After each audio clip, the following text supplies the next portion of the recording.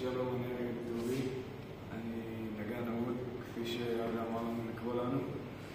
אה, בהתחלה לא הבנתי ככה, אבל עם הזמן בשביל שיעור אתה באמת רואה שזה הולך ומתפתח, וזה הכל כאילו עניין שלך אם אתה רוצה או לא, ו-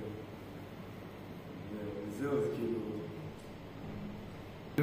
כן, ממש פחדתי שזה טבעי, טבעו של האדם לפחד. שאם אני אצליח או לא אצליח, זה נראה הכל מסובך, ולהתחייב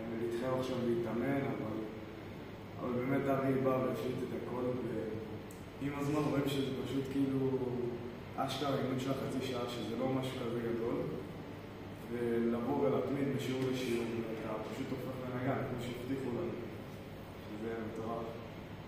הוא היה, היה הרבה, באמת. אם אתה אומר לי לשלוף איזה אחד, אז אני שנייה אגלגל במוח.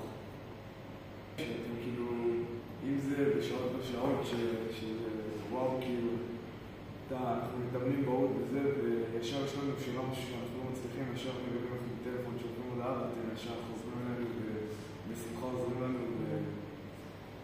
וזה כיף פשוט, זה כיף, זה פותח את הלב. תסמוך עליו. והשאלה של כמה אם אתה רוצה, אם אתה באמת רוצה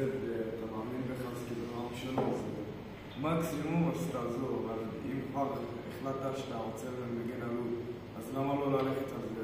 אפילו שיעור ניסיון חינם אחד, כאילו, אז למה לא? אם כבר אפשר, אז לקפוץ על הוואי.